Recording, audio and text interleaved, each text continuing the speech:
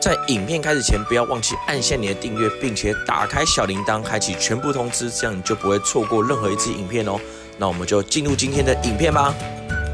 大家好，九桃欢迎来到频道。那今天呢，介绍爬虫系列一样，然后 DNA 台中场这边找辉哥来跟我们介绍爬虫啊。那今天介绍的主角，以前比较常见，现在也算是重量级的了，对对，也不能轻易持有了。今天的主角就是猪鼻龟，非常可爱的一种乌龟。是，那我们就飞马上来看猪鼻龟介绍影片。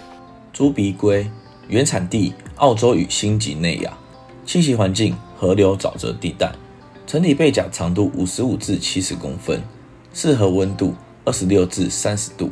猪鼻龟是唯一一种全水栖的淡水龟。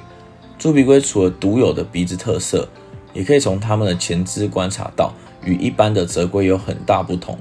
它们的前肢是鳍状的，并且除了需要产卵时会到岸上。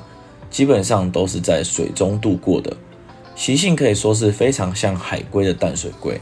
猪鼻龟是杂食性的，大多以鱼虾贝类为主要食物，食量非常的大。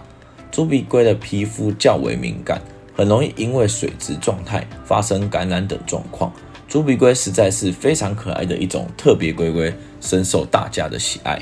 好，看完猪鼻龟介绍短片，现在请辉哥跟我们一起分享这一只猪鼻啦。对对，这个在还会再大哦。哇，现在它已经是今天介绍最大的。对对对，哇哇，它这个是实在是没有办法让拍太多，实在是它的后脚太太太好动了。是的，猪鼻龟大家又称飞河龟啦，它是只有一属一种的。基本上啊，猪鼻龟的领域性其实对同类是很强的，所以基本上呢，一一缸如果你空间不够大的时候，其实基本上建议是。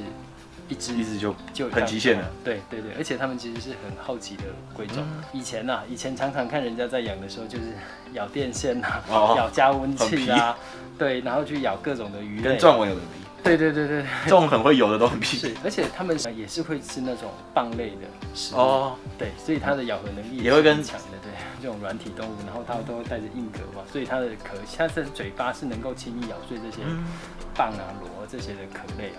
而且它是长时间生活，就是都在就是手已经不是蹼了，对，不是一般我们所记忆中乌龟的那个，所以它们爪配，所以它们也只有在。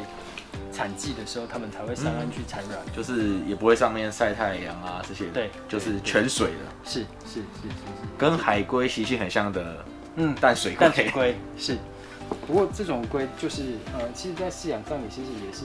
对水质有时候会要求多一些了，因为它的皮肤壳都是对，都是全天都泡在水里，其实对水质会有一定的要求程度。就是正常的过滤系统就把它做好。系统其实做好，其实基本上就 OK 了。对，因为像钻纹的皮肤也稍微比较弱一点嘛。是是是，就是只要一旦水质恶化的时候，它的皮肤啊、壳啊，在恶化的时候就会很快。只要水质不好，其实恶化就很快。猪鼻也是啊，就很明显。对对对对，不过很可惜啦，这一只现在也是。